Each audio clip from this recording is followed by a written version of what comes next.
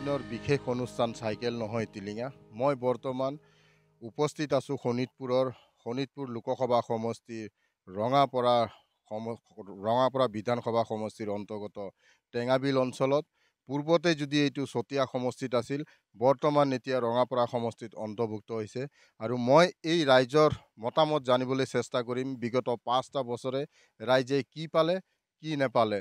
কি বিচাৰিছিলে আৰু কি কি সমস্যা আছে? তেওঁলোকে বিগত পাঁচটা বছৰত সাংসদগৰাকীক দেখি পাইছিলেনে সাংসদগৰাকী উক্ত অঞ্চলত আহিছিল নে নাই? আৰু তেখেতসকলৰ যি সমস্যা সেই সমস্যা বুলি জানিবলৈ চেষ্টা কৰিম। আহক আমি ৰাইজৰ ওচৰলৈ যাওঁ। হয় মই প্ৰথমেই এগৰাকী এজন বৃদ্ধ লোকৰ ওচৰলৈ আহিছোঁ। হয় দাদা কি ক'ব? বিগত পাঁচটা বছৰে আপোনালোকে কি পালে? আৰু আপোনালোকৰ কি কি সমস্যা আছে?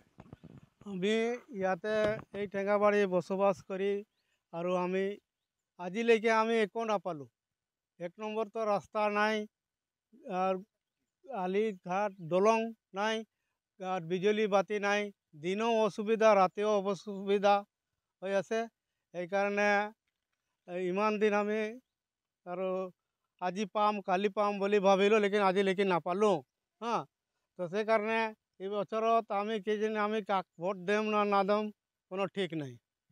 আপোনালোকৰ ইয়াত যিগৰাকী সাংসদ আছিলে পল্লৱ লোচন দাস কেতিয়াবা আহিছেনে? নাই ইয়াত অহা নাই। প্ৰণৱ লোচন দাস ইয়াত অহা নাই। আজি মোৰ ইমান দিন হৈ গ'ল ষাঠি পঁয়ষষ্ঠি বছৰ হৈ গ'ল মই চোৱাই নাই তাক। বিগত পাঁচটা বছৰে দেখি নাপালে? নাপালোঁ। নাপালোঁ। যদি পালে তো আজি এই বস্তুবিলাক আমি খুজিলে যেন পালে হয় নাকি? আমি দেখাই নাই পোৱাই নাই তো ক'ত তাকে খুজিম মই মাগি? হয় বৰ্তমান এইখন যি গাঁৱত বিভিন্ন সমস্যা আছে ৰাস্তা পদকে ধৰি বিজুলী বাতি বিদ্যুৎ বিদ্যুতৰ সংযোগ নাই আন্ধাৰতে দিন কটাবলগীয়া হৈছে এই- এইসকল লোকে। হয় কি ক'ব বাইদেউ? আপোনালোকৰ কেনেকুৱা ধৰণৰ সমস্যা আছে?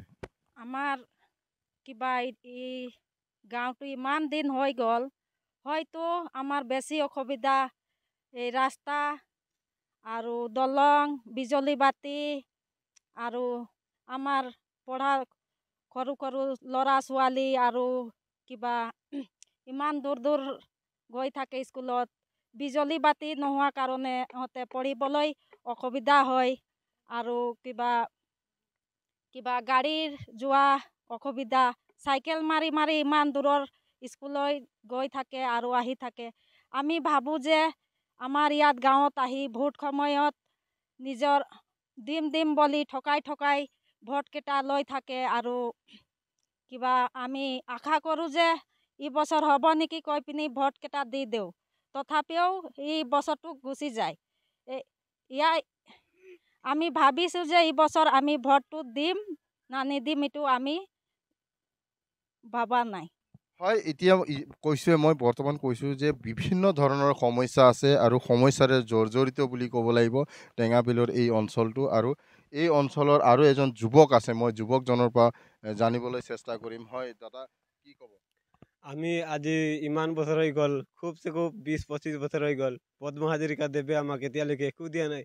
এই বছৰ নতুন ইলেকশ্যন আহি আছে ইলেকশ্যনত যদি আমাক যদি যোনে সহায় কৰে তাকে আমি ভোট দিম বুলি।